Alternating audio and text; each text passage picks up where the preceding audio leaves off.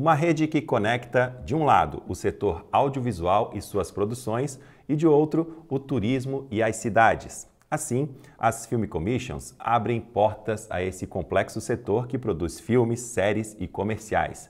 E de outro lado está o setor turístico, que recebe essas produções e assim torna mais conhecidos ao público os atrativos e encantos dessas regiões.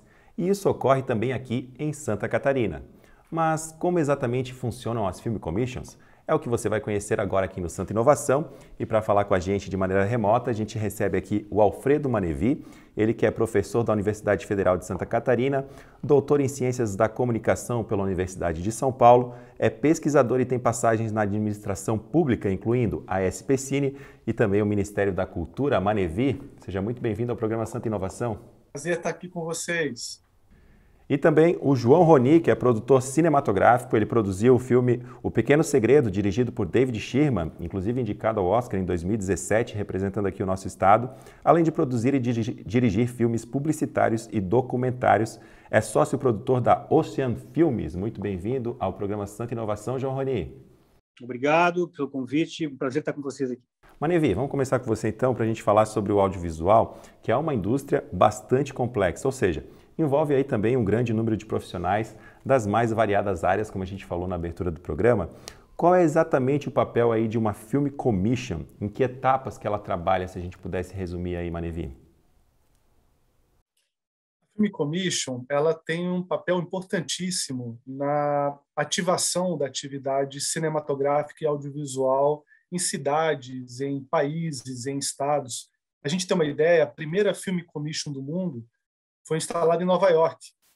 E às vezes a gente se pergunta por que, que Nova York aparece em tantos filmes, né? mesmo nunca tendo pisado em Nova York, é, se uma pessoa nunca foi, ela conhece a cidade porque ela viu a cidade em muitos filmes, e esses filmes que foram feitos lá geraram muitos empregos, geraram postos de trabalho, geraram um impacto no turismo muito importante, né? um desejo de conhecer a cidade. Então, a Film Commission, que é um termo uh, ainda pouco conhecido, que a gente precisa divulgar e promover muito no Brasil, ele é um instrumento importantíssimo para gerar desenvolvimento. E, e, porque hoje a produção de cinema, de séries, de conteúdo para as plataformas, no mundo todo, está avançando é, e gerando demanda é, de filmagens em, em cidades, lugares.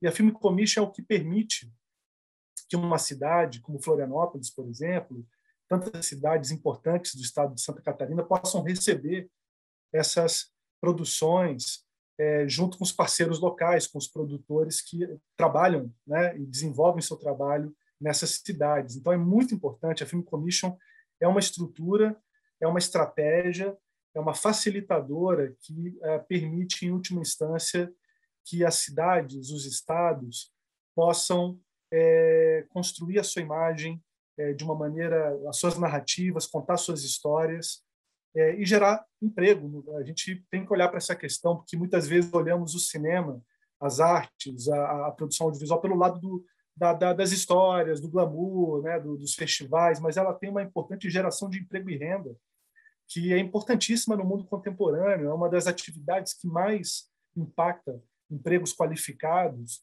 e é um tema que muito nos interessa né, e temos que estar muito atento a ele. Perfeito. João Roni, na questão das produções, né, o Manevi falou muito, muito bem da questão é, da identidade, identificação com aquele local, com a cidade, a partir de uma película, de um filme, né? É, e qual que é o caminho? Uma Film Commission, por exemplo, pega uma ideia de um produtor e procura uma cidade, uma locação ideal para aquela ideia, ou o produtor já chega com uma ideia de cidade e a Film Commission facilita para que esse trabalho seja desenvolvido em um determinado local? Então, a gente, como produtor, sempre que tem um roteiro para ser produzido, uh, a gente começa uma busca né, de locações, de estruturas, de estúdios, uma série de itens que envolvem uma produção audiovisual. Né? Dependendo do conceito dela, você pode viajar mais ou menos. Né? Tem, tem, produções que é muito mais fácil fazer no, no, na tua localidade, resolver ali a questão e não viajar. O que, que faz uma produção viajar?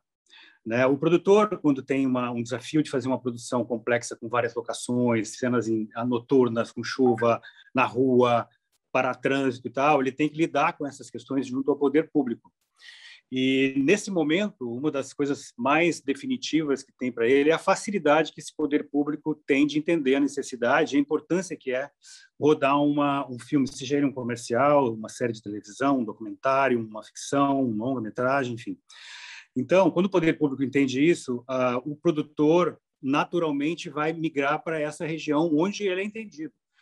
Né? Isso antigamente não existia. Né? A gente trabalhava no, no, vamos lá e vamos encarar a bronca e vamos, vamos falar com o prefeito, vamos falar com o secretário, era aquela confusão toda para a gente conseguir uma liberação de, de filmar uma ponte, né, Ponte Luz, ou na, falando aqui de Santa Catarina, né, ou na, ou na Beira-Mar, sempre é uma coisa complexa e sempre foi confuso isso, né? Então, agora, a, a gente já tem há mais ou menos uns três anos funcionando em Florianópolis uma Film Commission bem, bem, bem semente ainda, né, mas que foi muito importante para organizar esse momento que a gente está vivendo aqui da produção audiovisual de, de Santa Catarina, onde o governo também está entendendo. Né? A, a, Santur, por exemplo, criou um, um grupo de trabalho para estudar a maneira de conduzir o Estado a ser um destino cinematográfico.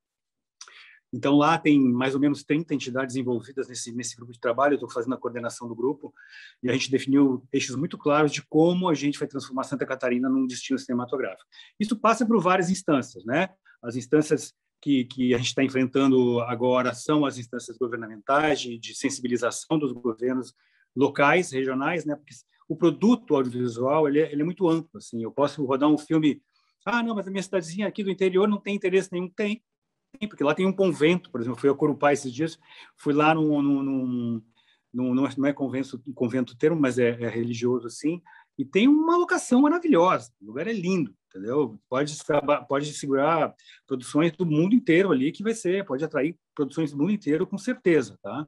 Então, assim, qualquer atrativo particular, ele, ele passa a ser muito importante para o produtor, né? Quantas vezes eu fui atrás de uma cachoeira, atrás de uma ponte, atrás de um... Poxa, muitas vezes, né? E isso, às vezes, é uma combinação de fatores. Então, você tem um roteiro que fala que tem cenas que tem que ser rodada dentro de um apartamento de luxo, ao mesmo tempo tem uma cena rural, ao mesmo tempo tem uma praia, ao mesmo tempo tem montanha, e às vezes tem que construir algum cenário em estúdio. Né? Então, essa, essa diversificação que, você, você, tem como, como produto, né, vender Santa Catarina como um produto que oferece esses recursos naturais de estrutura.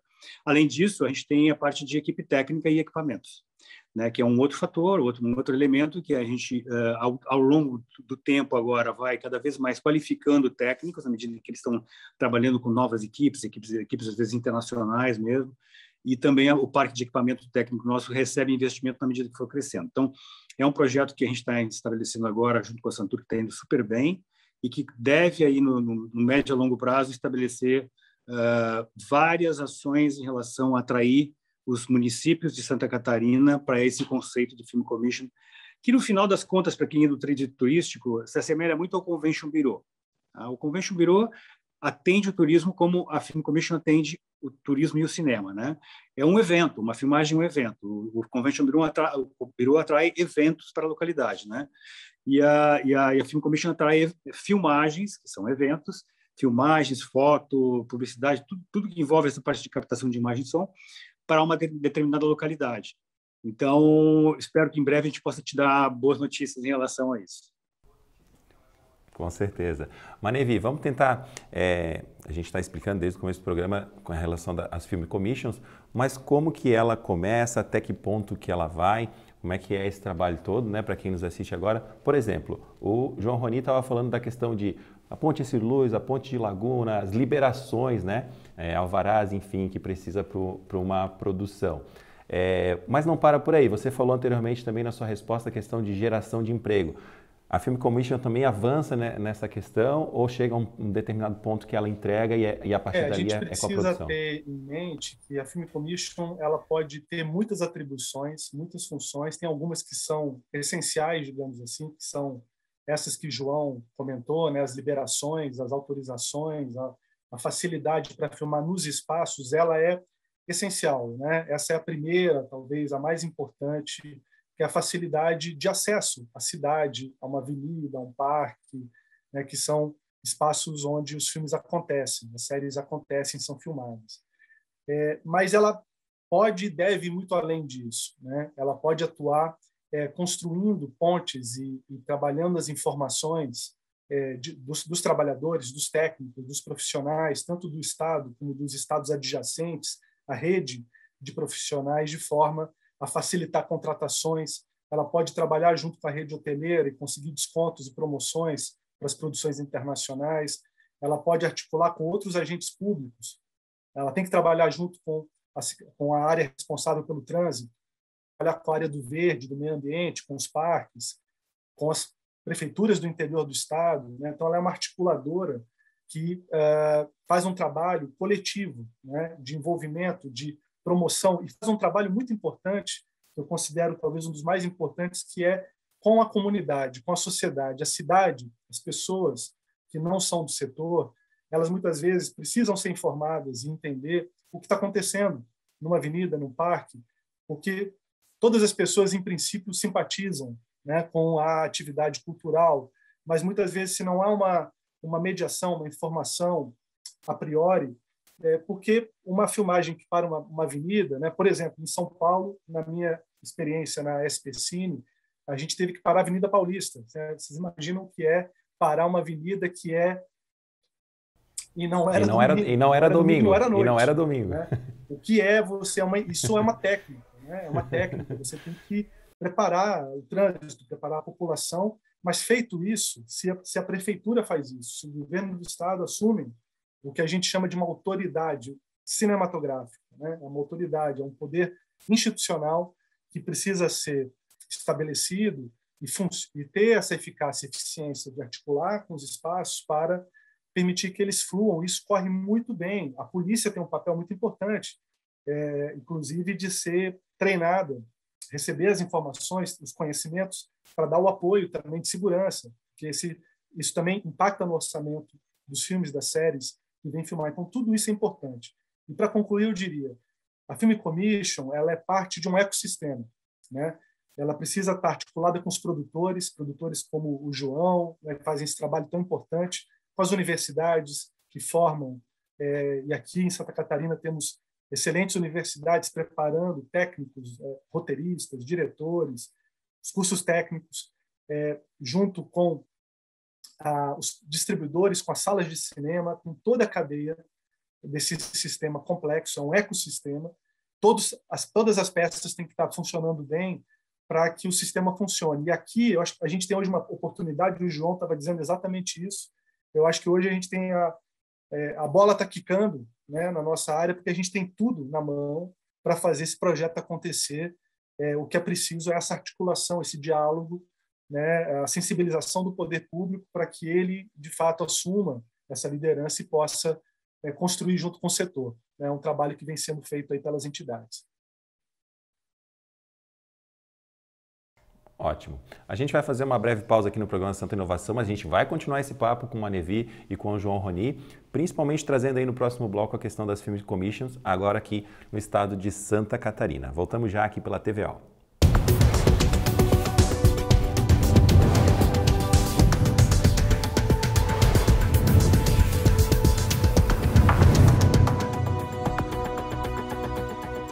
Voltamos com o programa Santa Inovação aqui pela TVA, hoje abordando as Film Commissions com o Manevi e também com o João Roni. Manevi, eu gostaria de saber como é que funciona, para o pessoal que também nos assiste aqui pela TVA, é, como é que é formada uma Film Commission? Que pessoas que participam são entidades, organizações? Existe um CNPJ? Como que é formado não só aqui em Santa Catarina, mas no mundo todo? De forma geral, é claro que cada país, cada região descobre seu caminho, né? sua identidade, mas de maneira geral, né, a gente tem um desenho que corresponde a uma equipe muito enxuta, muito a um núcleo de trabalho que fica dentro do poder público, ou na instância municipal, ou na instância estadual. Quando eu falo dentro, eh, não necessariamente precisa ser na administração direta, pode ser uma autarquia, uma fundação, um instituto, isso varia né, de cidade para país, para formatos jurídicos, mas o mais importante é a função. Quer dizer, é, ela tem que ter o respaldo uh, legal e é, institucional para fazer seu trabalho. Quer dizer, É preciso um trabalho político do setor. O setor é muito importante porque sem o setor, é, é, o setor toma toma o ponto de partida em todos os lugares, como, como vem acontecendo aqui em Santa Catarina, é o setor que puxa essa discussão né, há muitos anos, é, e o poder público assume isso como uma responsabilidade, uma atribuição sua no sentido das suas funções, ou seja, tem funções que são típicas do poder público, né? liberar a rua, é, função de polícia, função de abertura de espaços, é, são coisas que é, é, passam pelo poder público e é preciso ter um núcleo né, é, é, de, de respaldado para integrar essas funções dentro de uma prefeitura ou de um governo estadual. Então, é assim que, é, de forma geral, a gente tem, mas são estruturas muito leves, são estruturas muito enxutas, muito treinadas, né? Eu tive na Califórnia, por exemplo, eram praticamente três, quatro pessoas, mas com um respaldo é, legal institucional para fazer um trabalho junto aos bombeiros, por exemplo, porque lá questão dos incêndios importante. Você filmar num parque lá e ter um incêndio, aquilo ali pode gerar um impacto orçamentário. Então tem temas que são específicos de cada território, de cada lugar onde a Film Commission se estabelece. Mas é fundamental, fundamental que o poder público perceba a importância de se colocar, ou seja, de de ter um, um, um, conjunto de servidores né, bem treinados, bem é, com, com, com a, o respaldo para fazer um trabalho de demanda que, que cresce, que vai crescendo porque, ao longo do tempo. Porque não é algo é obrigatório, como uma secretaria é, de cultura, uma secretaria de turismo, é uma, uma pasta que a prefeitura ou o governo do estado pode optar em ter ou não ter, mas que é muito importante para a divulgação daquele município ou daquele estado que tenha, né? Exatamente. É uma decisão estratégica que tem a ver com um pensamento sobre a economia, sobre o caráter de desenvolvimento que o Estado uh, quer ter para si no futuro. Né? A gente vê hoje essa questão da diversificação da economia brasileira, a importância que tem para o Brasil ampliar as formas né, de gerar trabalho, de gerar renda. A gente tem a questão do agro, né, que tem uma, um peso muito grande e uma tradição muito grande, mas a gente sabe que olhando para o futuro, a gente precisa olhar para outros setores, a gente precisa considerar que a economia brasileira, de um país contemporâneo, um país moderno, tem que ter no, na tecnologia, na cultura, no conhecimento, a geração de renda, porque as questões, tudo que depende da, da, né, da, da terra, esbarra em, em, recursos que nem sempre são renováveis. Né? É, então, a gente tem que considerar hoje a questão ambiental, a questão então, é muito importante esse olhar para a Film Commission, porque ela não é só de interesse dos que fazem, né, dos que produzem, ela é do interesse realmente da sociedade de um projeto é, é, é, de Estado, de país, no sentido que a gente tenha outras formas de gerar desenvolvimento. Perfeito. João Roni, fazendo um recorte yeah. aqui para Santa Catarina, então. Então, assim, a, a, gente tem aqui em Santa Catarina, nesse momento, a Film Commission mais bem estruturada é a de Florianópolis. Isso porque o Convention Bureau de Floripa, o Floripa Convention Bureau, é, assumiu para si essa responsabilidade. É muito difícil, às vezes, convencer o poder público sem ter um exemplo claro. Então, acho que esses três anos que a, que a Floripa Film Commission assumiu, uh, se assumiu dentro do, do Convention Bureau de Florianópolis, graças ao esforço e a compreensão do, do Humberto, do Ricardo, da Thaís, que foram, estão sendo incríveis com a gente desde o começo, perceberam a importância, perceberam a importância do impacto de uma produção audiovisual, economicamente falando, no setor turístico, né, e também no setor econômico de forma geral. A cadeia do audiovisual envolve mais de 60 setores né, da economia.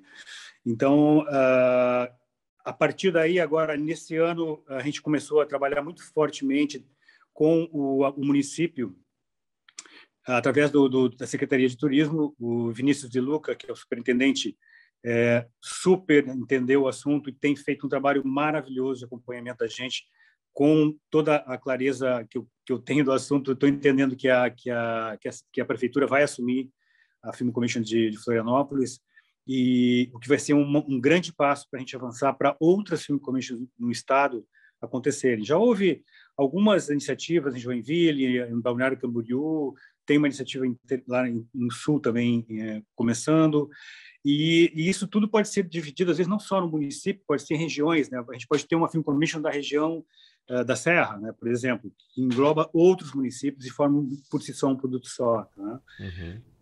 Perfeito, a gente vai entender um pouquinho mais dessa parceria então da Film Commission, principalmente essa parceria com a capital aqui, né, da ilha de Santa Catarina e o potencial, né, que tem todo esse trabalho. Inclusive, é, um colega seu, Manevi, o Daniel Celli, é, que foi um, um, dos implementadores da SP Films Commission, vai estar nesse, nessa matéria, nessa reportagem também, que foi produzida pela nossa repórter Leneza Kras. Vamos acompanhar. Quem conhece a capital catarinense sabe que cenários inspiradores não faltam por aqui.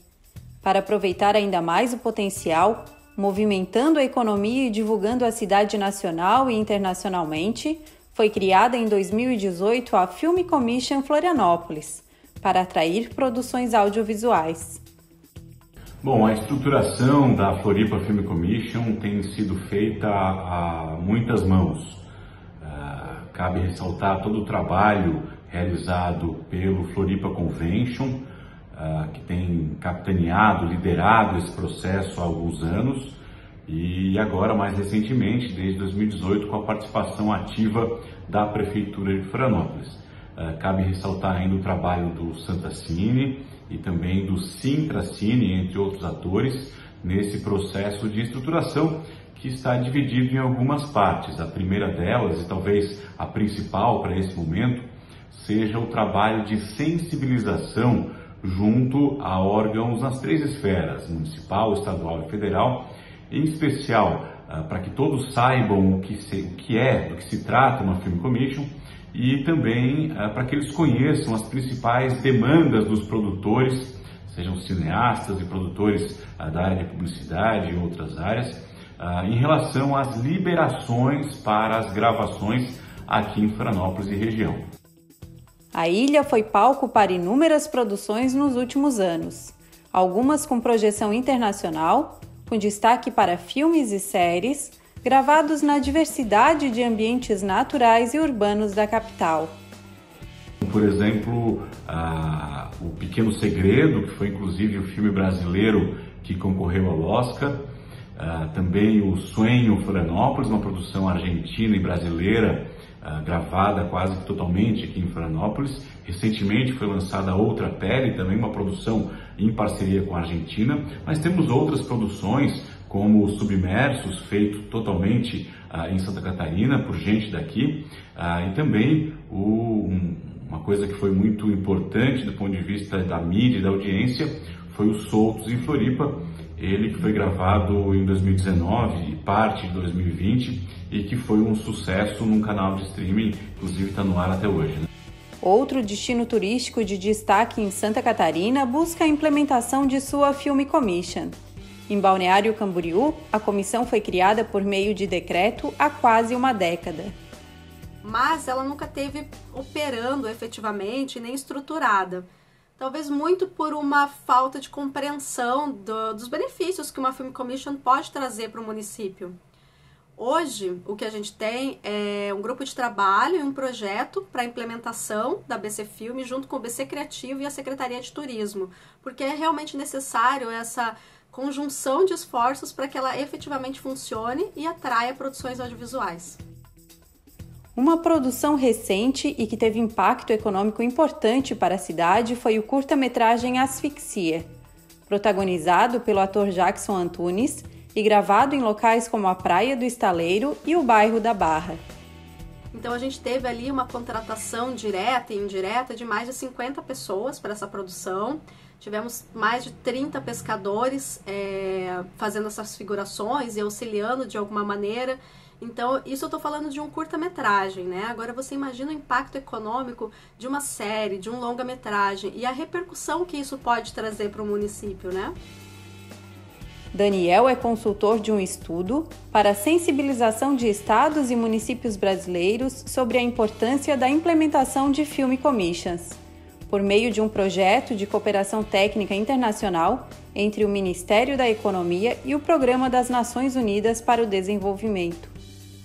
Atualmente, eu tenho trabalhado no tema num contexto da, de uma consultoria que eu estou dando para o é, pro Programa de Desenvolvimento das Nações Unidas, o PNUD da ONU, uma parceria, uma cooperação técnica com o Ministério da Economia para estimular o, a implementação de film commissions ao redor do país, pensando na melhoria do ambiente de negócios, na diminuição do custo do Brasil, no estímulo à competitividade e nos objetivos de desenvolvimento sustentável da Agenda 2030 propostos pela ONU. É, para promover políticas orientadas para o desenvolvimento, que apoiem as atividades produtivas, a geração de emprego decente, empreendedorismo, criatividade e inovação. No mundo já são mais de mil comissões fílmicas ativas. No Brasil, esse número vem aumentando a cada ano. Elas funcionam como um escritório de apoio aos produtores. Segundo o consultor, para se tornar uma localidade destino de produções audiovisuais, algumas questões precisam ser observadas. As produções têm que reconhecer aquela localidade ou aquelas localidades como destinos, como destinos film friendly. E por que é o film friendly? Por que film commission? Por que o termos em inglês? Porque é uma rede, é um mapa mundial de é, film commissions, de destinos film friendly, destinos amigáveis, destinos que a produção sabe, que as produções sabem que serão, que se forem lá acharão paisagens incríveis, serão bem atendidos. Produções precisam de previsibilidade. Você não vai levar a sua produção que custa milhões de reais, milhões de dólares para uma localidade que você não sabe se vai conseguir filmar, se você não, que você não sabe que vai ter apoio pleno daquela é, gestão pública. Bacana, né? A gente entende mais como funciona esse trabalho das Filmes Commissions na reportagem que a gente acabou de assistir. É, João Roni, com relação aos incentivos aí para facilitar né, que uma escolha de uma cidade, de uma localidade para uma grande produção, como é que funciona essa questão aí para atrair? Então, você falou um ponto muito chave, né? A questão dos incentivos são chave fundamental para uma tomada de decisão de um produtor uh, aconteça. Tá? Ela, ele, uh, se eu tenho um lugar onde eu tenho tudo que eu quero filmar, tem um custo razoável local, é agradável de filmar, e eu ainda tenho um incentivo para ir, a, decisão é imediata. Tá? Então, o que a gente está tentando fazer hoje no Brasil, e São Paulo já deu um primeiro passo, é a edição de um edital de cash rebate. O que é o cash rebate? Ele, ele, é, uma, ele é um princípio muito bacana porque o produtor vem para a localidade, gasta o dinheiro, ele comprova que gastou, uma auditoria é feita, e desse percentual que ele gastou aqui, ele recebe de volta 20, 30, 40, até 50% as Ilhas Canárias estão dando agora de cash rebate. Tá? Então, isso, isso é um dinheiro novo entrando na, na economia, para que esse dinheiro circule aqui dentro e, e vai gerando impostos, gerando renda, emprego, a gente vai devolver uma parte para esse produtor. Isso é um, isso é um, isso assim, ninguém está inventando a roda, tá? Isso existe no mundo inteiro, nos Estados Unidos, inclusive, onde tem muitos estados que competem para tirar de Hollywood as produções, né?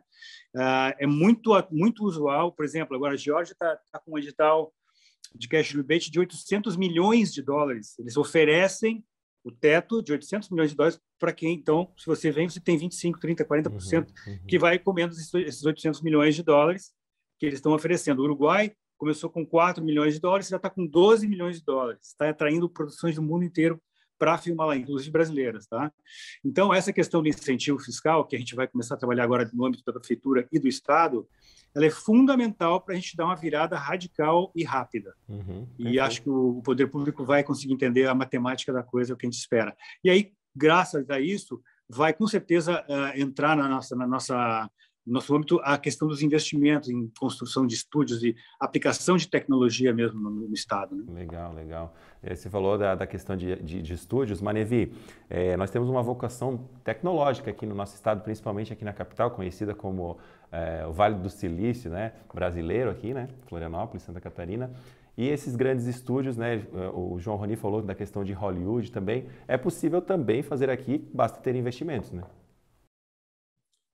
Eu acho que esse caminho que foi trilhado pela tecnologia aqui na área de software tem um caminho semelhante que está sendo trilhado na área do audiovisual, né? no sentido os incentivos, mais a Film Commission, mais uma política pública para o audiovisual com editais, financiamento, que é algo que vem é, nos últimos anos se mantendo e a gente espera que continue. É, tudo isso monta um sistema muito favorável para um plano de longo prazo onde essa indústria se desenvolve. É claro que a gente não está falando com os referenciais de Hollywood, são outras características, são outras é, é um outro contexto, né? É, mas é um contexto que hoje permite países como o Brasil, como Coreia do Sul, como muitos países com as nossas características de desenvolvimento, países em desenvolvimento, a serem produtores e exportadores de filmes, séries e games. É, e aí eu estou falando de games exatamente porque essa possibilidade de uma infraestrutura de estúdios e também uma infraestrutura de tecnologia que o Estado já tem permite que a gente tenha aqui uma, uma infraestrutura criativa e tecnológica integrada. Fora que é, acelera, que acelera a produção também, né, Manevi? Porque no estúdio não, não, precisa de depender de tempo, né, de clima, de liberação. Tem o estúdio, vai lá e grava e pronto, né? Muito mais rápido também, né? E dá segurança, porque um produtor, trabalho como um produtor, como o João, produtores experientes, profissionais, eles precisam ter segurança desse investimento e em planejamento ele não pode ser surpreendido por exemplo, por uma autorização que é dada e depois é subtraída ou aparece um imprevisto. Isso, isso impede. Isso, se isso acontece, os produtores não voltam para o lugar. Então, assim, precisa ter confiabilidade, segurança, e daí a importância da autoridade pública, das máximas instâncias, é, assumam esse compromisso, porque isso transmite previsibilidade, segurança para os investimentos num ambiente jurídico, um ambiente econômico saudável é, que a gente tem certeza que né, estamos trilhando esse caminho. Tá certo. Muito obrigado, então, Alfredo Manevi, João Roni, pela participação aqui no programa Santa Inovação, abordando aí as Film Commissions. Muito obrigado a você também que nos acompanhou aqui pela TV Alto. Em breve, mais um programa Santa Inovação para você. Até lá.